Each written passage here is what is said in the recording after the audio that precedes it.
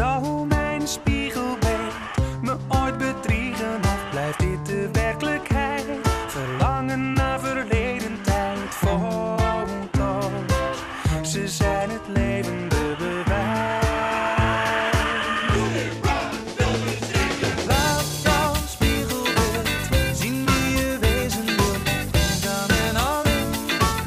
Jouw pad leidt